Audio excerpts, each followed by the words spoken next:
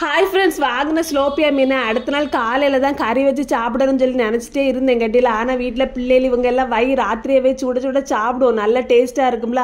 காலையில் வச்சா எல்லாம் ஆறிப்போம். பிள்ளைகள் சாயங்காலம் வந்து சாப்பிடும். நீயும் அப்போ தான் சாப்பிடுவா. நான் அப்போ எல்லாம் சரிப்பட்டு வராது. இப்போனா எல்லாரும் சேர்ந்துருந்து நல்லா சாப்பிட்லாம்ல அப்படின்னாங்க. அதனால சரின்னு சொல்லிட்டு நான் ராத்திரியோடி ராத்திரியாக மீனை கழுவி கறி வைக்க தொடங்கிட்டேன் கட்டியில் இந்த மீன் வந்து நல்லனா நல்ல டேஸ்ட்டாக இருக்கும். உடம்புக்கு குளிர்ச்சி வேறு கேட்டிங்களா?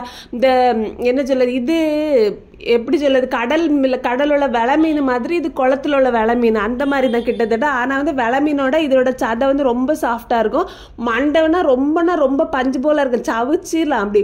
சவிச்சா நல்லா ரப்பர் சவிச்ச மாதிரி அப்படி சூப்பராக இருக்கும். ஆனால் அதுக்கு முள் இருக்குது பார்த்தீங்களா இந்த உடம்புல இருக்கிறதுக்கு முதுகில் இருக்க முள் அதெல்லாம் வந்து ஒரு குத்து குத்துச்சுன்னா செம்மையாக இருக்கும் பார்த்தீங்கன்னா வலி உயிர் பேர் அந்த அளவுக்கு க இந்த கம்பி கணக்காக இருக்கும் பார்த்துருங்க மற்றபடி இந்த மீனை வந்து டேஸ்ட் அடிச்சு காலையில் கறியெல்லாம் வச்சாச்சு. எனக்கு வந்து வால் பகுதியும் மண்டையும் நல்லா பிடிக்கும் பார்த்துருங்க அதில் இப்போ த கான்செப்டில் ஒரு மூணு வால் பகுதி ஒரு மண்டை உள்ளது. இது வந்து எனக்காக. மற்றபடி எல்லாரும் கொடுத்தாங்க. சூடு இருந்தாலும் பரவாயில்ல. எப்படியாவது தின்னு தீத்துற வேண்டியதான் பார்த்துருங்க செம்ம டேஸ்ட்டு